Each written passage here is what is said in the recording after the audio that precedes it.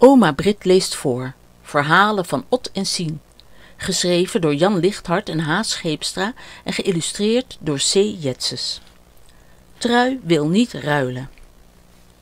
Trui heeft een kastanje. Kijk eens, Ot, wat een mooie. Ze legt de kastanje op haar hand. Dan kan Ot hem goed zien. Is hij niet mooi bruin? Mag ik hem? vraagt Ot. Hij kijkt met begeerige ogen naar de mooie kastanje. Nee, ik wil hem zelf houden. Ot zoekt in zijn zak. Hij haalt er een stukje blauw glas uit. Wil je hiervoor ruilen? Voor zo'n stukje glas? Nee hoor.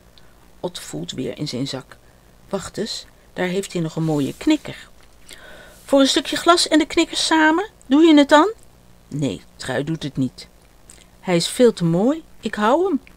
Ze kijkt naar de kastanje en wrijft hem langs haar jurk. Kijk hem nu eens gaan glimmen.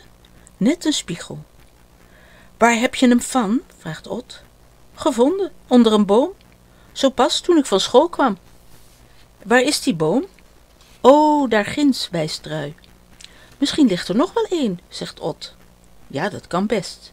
En hij kan er best gaan kijken ook, want zo ver is het niet. Smiddags komt Sien bij Ot spelen. En Ot vertelt haar van de mooie kastanje. Nou, Sien zou er ook wel graag een willen hebben. Dan gaan we zoeken, zegt Ot. Kom maar. De boom is gemakkelijk genoeg te vinden, maar kastanjes niet. Doppen liggen er wel. Daar hebben de kastanjes in gezeten. Bladeren liggen ook op de grond. Ze schuiven ze met hun voet opzij en als er een dop omgekeerd op ligt, pakken ze die gauw op.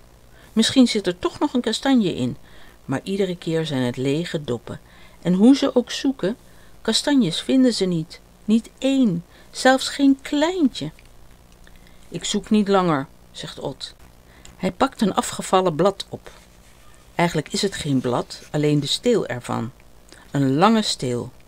Ot vindt hem mooi. Laten we die zoeken, zien. Sien vindt het best. Er liggen er zoveel. Ze hebben dadelijk hun handen vol. Daar komen een paar grote jongens. Die willen ook graag kastanjes. Maar ze zoeken niet. Ze gooien met stenen en stokken in de boom. Pas op, Sien. Oh, bijna kreeg Sien een steen op haar hoofd. Aan de kant staan, wijzen de jongens. Ot en Sien doen dat. En ze kijken naar de jongens. Zullen er kastanjes vallen? Oh ja hoor, daar komen ze al naar beneden. De doppen vallen stuk op de grond en de bruine kastanjes rollen eruit. Zal er niet eentje blijven liggen als de jongens weggaan? Oh ja, twee zelfs, voor elk één. Nou, gauw maar naar huis.